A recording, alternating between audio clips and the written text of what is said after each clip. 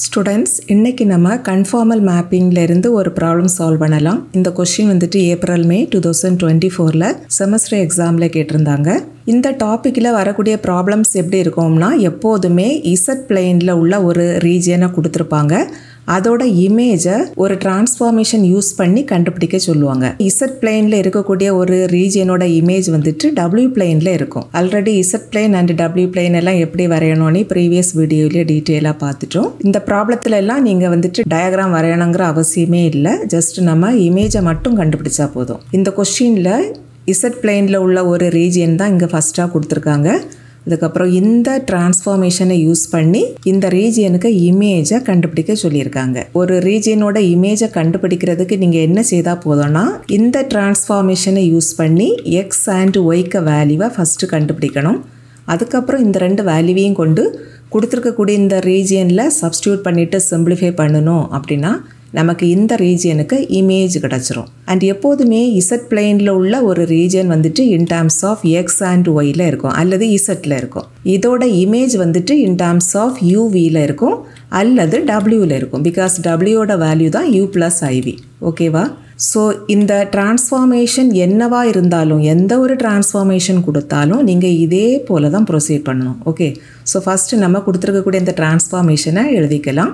இப்போ இதில் இருந்து நம்ம எக்ஸ் அண்ட் ஒய்க்க வேல்யூவை தான் கண்டுபிடிக்கணும். ஸோ இதை நம்ம கிராஸ் மல்டிப்ளை பண்ணிடலாம் அப்போ நமக்கு இசட்டோட value one divided by W அப்படின்னு கிடைக்கும்.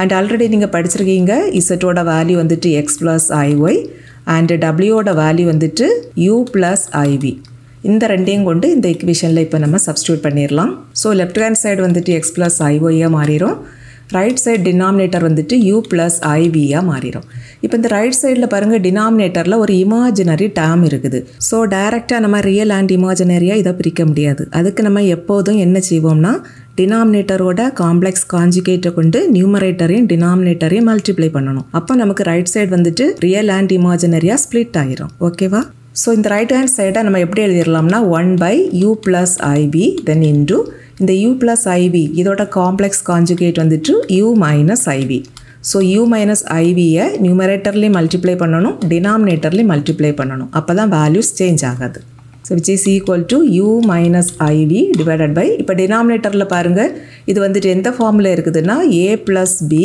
into A minus B அந்த ஃபார்மில் இருக்குது. இங்கே ஏக்கு பதிலாக யூ இருக்குது பிக்கு பதிலாக ஐ இன்ட்டு வி இருக்குது. அண்ட் ஆல்ரெடி நீங்கள் படிச்சிருப்பீங்க A plus B into A minus B இதை நம்ம வந்துட்டு A square minus B square அப்படின்னு எழுதிடலாம். ஸோ இங்கே நமக்கு டினாமினேட்டர் என்ன வரும்னா U square minus I V the whole square அப்படின்னு கிடைக்கும். இந்த ஐவி தி ஹோல் ஸ்கொயரை ஐ ஸ்கொயர் வி ஸ்கொயர் அப்படின்னு எழுதிடலாம். அண்ட் ஐ ஸ்கொயருக்கு value minus one and already இங்கே அவுட் சைட்லேயும் ஒரு மைனஸ் இருக்குதா. ஸோ மைனஸ் இன்ட்டு மைனஸ் ப்ளஸ்ஸாக மாறிடும்.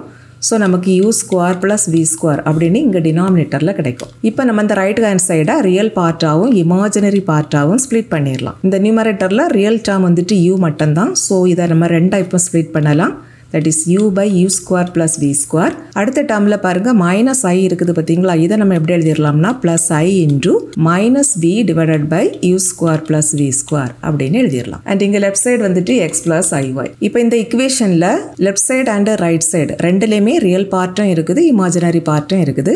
அண்ட் இந்த இக்குவேஷனில் உள்ள லெஃப்ட் சைடு அண்ட் ரைட் சைடுக்கு வேல்யூ சேம் அப்படின்னா லெஃப்ட் சைடில் உள்ள ரியல் பார்ட்டும் ரைட் சைடில் உள்ள ரியல் பார்ட்டும் ஈக்குவலாக இருக்கும். அதே போல் லெஃப்ட் சைடில் உள்ள இமாஜினரி பார்ட்டும் ரைட் சைடில் உள்ள இமேஜினரி பார்ட்டும் ஈக்குவலாக இருக்கும். ஸோ நமக்கு இந்த இக்குவேஷனில் இருந்து ரெண்டு வேல்யூ நமக்கு கிடைக்கும். ஜஸ்ட்டு ரியல் பார்ட்டை இக்குவேட் பண்ணணும்னா நமக்கு எக்ஸோட வேல்யூ என்ன கிடைக்கும்னா இந்த U by U square plus V square அப்படின்னு கிடைக்கும். அண்ட் இமேஜினரி பார்ட்டை ஈக்குவேட் பண்ணணும்னா லெஃப்ட் சைடில் imaginary part to Y which is equal to right சைடில் imaginary part minus V divided by U square plus V square இப்போ நம்ம இந்த X and ஒய்க்க வேல்யூவை கொண்டு கொடுத்துருக்கக்கூடிய ரீஜியனில் சப்ஸ்டியூட் பண்ணணும். இங்கே கொடுத்துருக்கக்கூடிய ரீஜியன் வந்துட்டு modulus of Z minus two I equal to two இதை நெக்ஸ்ட் நம்ம கன்சிடர் பண்ணிக்கலாம். That is given modulus of Z minus two I equal to two இங்கே நமக்கு எக்ஸ் அண்ட் ஒய்க்கு வேல்யூ தான் தெரியும். ஸோ இந்த இக்குவேஷனை in terms of X and ஒய்யில் rearrange பண்ணிடலாம் பிகாஸ் இதில் ஒரு இசட் இருக்குது பார்த்தீங்களா? இந்த இசட்டோட வேல்யூ வந்துட்டு எக்ஸ் ப்ளஸ் ஐ ஒய் தான். ஸோ அதை கொண்டு இந்த இக்குவேஷனில் சப்ஸ்டியூட் பண்ணிடலாம்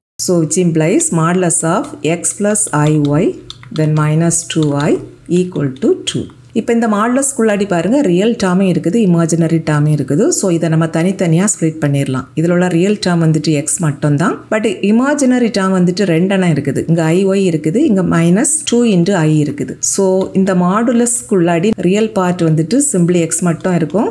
அண்ட் இங்கே செகண்ட் அண்ட் தேர்ட் டேர்மில் உள்ள ஐயை நம்ம அவுட் சைடில் எடுத்துட்டோம்னா இங்கே ரிமைனிங் ஒய் இருக்கும். இங்கே வந்துட்டு மைனஸ் டூ இருக்கும். Equal to true and already நீங்கள் படிச்சிருப்பீங்க modulus of x plus i y the whole square அதோட வேல்யூ வந்துட்டு இங்கே உள்ள ரியல் பார்ட்டுக்கு ஸ்கொயர் ப்ளஸ் இங்கே உள்ள imaginary பார்ட்டுக்கு square modulus value the whole square இருந்தால் தான் நம்ம இதை இப்படி எழுதுவோம். பட் இங்கே பாருங்கள் இந்த இக்குவேஷனில் மாடுலஸில் ஸ்கொயர் இல்லை. ஸோ நம்ம என்ன செய்யலாம்னா இந்த இக்குவேஷனில் ரெண்டு சைடும் நம்ம ஸ்கொயர் எடுத்துடலாம். அப்போ வேல்யூஸ் சேஞ்ச் ஆகாது. இப்போ நமக்கு லெஃப்ட் சைடு வந்துட்டு எந்த ஃபார்மில் இருக்குதுன்னா modulus of X plus I into இவ்வளவும் ஒய் போல் வச்சுக்கோங்க.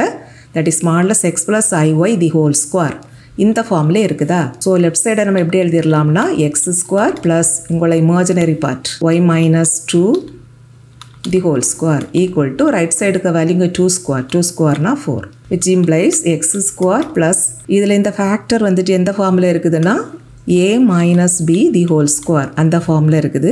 A minus B the whole square இதோட value A square minus two A B plus B square so இங்கே நமக்கு என்ன வரும்னா Y square minus two into Y into two that is four Y plus two square அதோட value four equal to four இங்கே right side and left சைடில் four இருக்குதா? ரெண்டுமே ப்ளஸ்ஸில் இருக்குது.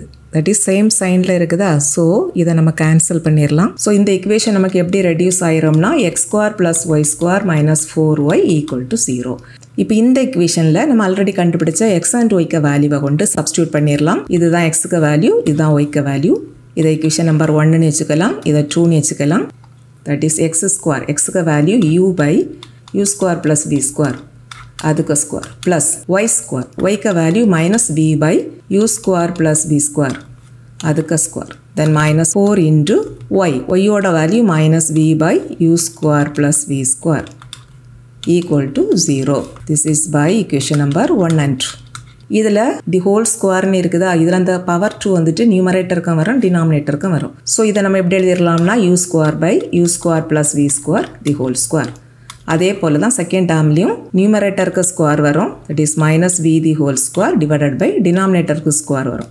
U square plus V square the whole square then இங்கே ஒரு minus into minus ப்ளஸ்ஸாக மாறிடும் then four V by U square plus V square equal to zero இப்போ இந்த ஃபஸ்ட்டு டூ டேர்ம் மட்டும் ஆட் பண்ணிக்கலாம். பிகாஸ் இந்த ஃபஸ்ட்டு டூ டேமுக்கு டினாமினேட்டர் சேமாக இருக்குதா? ஸோ ஜஸ்ட் இந்த ரெண்டு நியூமரேட்டரையும் ஆட் பண்ணி நியூமரேட்டரில் எழுதிடலாம். தட் இஸ் இங்கே யூ ஸ்கொயர் இருக்கும். இங்கே மைனஸ் வி தி ஹோல் ஸ்கொயர்னால் ப்ளஸ் வி ஸ்கொயர் தான் டிவைடட் பை இந்த denominator U square plus V square the whole square then plus இப்போ நம்ம இந்த லாஸ்ட் டேர்ம் எழுதிடலாம். Four V by U square plus V square equal to zero இப்போ இந்த first டேர்மில் பாருங்கள் நியூமரேட்டர் அண்ட் டினாமினேட்டரில் சேம் டேர்ம்ஸ் இருக்குதா? ஸோ அதை நம்ம கேன்சல் பண்ணிடலாம். பட் டினாமினேட்டரில் பவர் டூ இருக்குது பார்த்தீங்களா? அதில் ஒரு ஃபேக்டர் கேன்சல் ஆயிரும். இப்போ நமக்கு இந்த ஃபஸ்ட்டு டேர்மில் நியூமரேட்டரில் சிம்பிளி ஒன் தான் இருக்கும். பட் டினாமினேட்டரில் U square plus V square இருக்கும். Plus four into V divided by இந்த denominator U square plus V square equal to zero இந்த ரெண்டு டேர்ம்லேயும் டினாமினேட்டர் சேமாக இருக்குதா? ஸோ அப்படியே நம்ம நியூமரேட்டரையும் ஆட் பண்ணிடலாம். டினாமினேட்டரில் u square plus v square வரும். இந்த நியூமரேட்டர் வந்துட்டு first term one then plus second டேர்மில் ஃபோர் வி இருக்கும். ஈக்குவல் டு ஜீரோ இப்போ நம்ம இதை கிராஸாக மல்டிப்ளை பண்ணணும்னா நமக்கு one plus four v equal to zero அப்படின்னு கிடைக்கும். இதுலேருந்து ஃபோர் வீக்க வேல்யூ மைனஸ் ஒன் அப்படின்னா வீக்க value minus one by four இது வந்துட்டு ஒரு ஸ்ட்ரைட் லைன் அண்ட் இந்த இக்குவேஷனில் வேரியபிள் வி மட்டும் தான் இருக்குது. இது வந்துட்டு டபிள்யூ பிளெயினில் உள்ள ஒரு ஸ்ட்ரைட் லைன் நீங்கள் ஆல்ரெடி படிச்சிருப்பீங்க. சப்போஸ் இது எக்ஸ் ஆக்சிஸ் இது ஒய் ஆக்சிஸ்னு வச்சுக்கோங்க. ஒய் ஈக்குவல் டு ஒன் அப்படின்னு ஒரு இக்குவேஷன் இருக்குதுன்னு வச்சுக்கோங்க. இதை நம்ம எப்படி வரைவோம்னா இந்த ஒய் ஆக்சிஸில் ஒன் அப்படிங்கிற அந்த பாயிண்ட்டை ஃபிக்ஸ் பண்ணிவிட்டு அது வழியாக நம்ம ஒரு ஸ்ட்ரைட் லைன் வரைஞ்சிருவோம். இதுதான் ஒய் ஈக்குவல் டு ஒன் அப்படிங்கிற line that is Y equal to A where A வந்துட்டு எனி கான்ஸ்டன்ட் அதே போல் X equal to B B அப்படிங்கிறது ஏதாவது கான்ஸ்டன்ட் இப்படியெல்லாம் இருந்ததுன்னா இது வந்துட்டு ஸ்ட்ரைட் லைன் தான். இசட் பிளெயினில் தான் நமக்கு எக்ஸ் ஒய் வேரியபிள்ஸ் இருக்கும். டபிள்யூ பிளெயினில் யூ அண்ட் வி தான் இருக்கும். ஓகேவா so V equal to minus one by four அப்படிங்கிறது ஒரு straight line that is B ஆக்சிஸில் suppose இந்த பாயிண்டில் தான் மைனஸ் ஒன் பை ஃபோர்னு வச்சுக்கோங்க. ஸோ இந்த பாயிண்ட் வழியாக நம்ம ஒரு லைன் போட்டோம்னா இந்த லைனோட நேம் தான் B equal to minus one by four இந்த டயக்ராம் எல்லாம் நீங்கள் வரைய வேண்டிய அவசியம் கிடையாது. ஜஸ்ட் இந்த ஸ்டெப் வந்ததை நீங்கள் என்ன எழுதினா போதும்னா which is the required image அப்படி எழுதிட்டா போதும். ஃபைனல் ஆன்சரில் எக்ஸ் ஒய் இசட் எல்லாம் இருக்கக்கூடாது. சிம்பிளி யூ லியோ வி லியோ டபிள்யூ லியோ அல்லது யூ அண்ட் வி ரெண்டும் கம்பைண்ட் ஆகியோ அப்படி இருக்கலாம். ஓகேவா